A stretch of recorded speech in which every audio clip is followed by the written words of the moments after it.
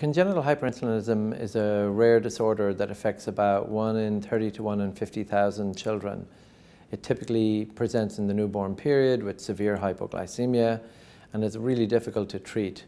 It's so difficult to treat that in fact anywhere from 20 to 40% of the children who have it can be brain damaged. And the disease is so serious because insulin is secreted at times when the blood sugar is normal or even low, causing blood sugar levels to further go low. And low blood sugar levels mean that the brain runs out of energy. And when the brain runs out of energy, the cells can die, and hence the significant brain damage that occur with this condition. Tonight I'm representing Cook Children's Medical Centre to receive the Rare Disease Report Heroes Award. And this is a very exciting thing for the hospital because they have taken this rare disease, they have realized that this is an area where there's a huge need for treatment, uh, not only just in Texas, but also in the southern part of the United States. And they've developed a program that's allowed me to help hundreds of children, not only from Texas, but also all around the world with this rare disease.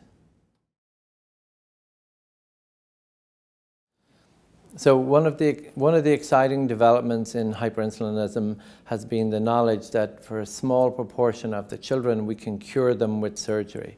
And in order to do this, we have to do very specialized imaging using 18F-DOPA PET scans uh, to visualize where insulin is being secreted.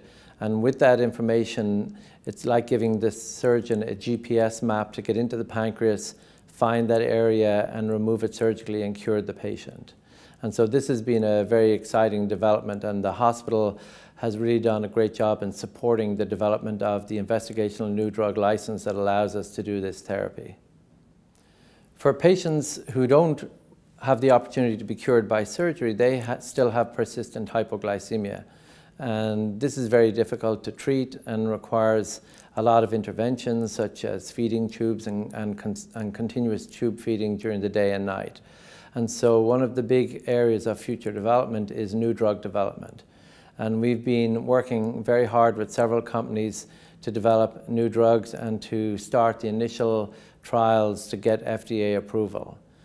We believe that in the future, this is going to revol revolutionize the treatment of patients and it's going to avoid them having to have near total pancreatectomies to cure the disease uh, which the, in the current time often results in diabetes. So th these are very much needed future therapies and it's exciting to see that industry is, is focusing on such a small rare disease and making great strides in developing new treatments.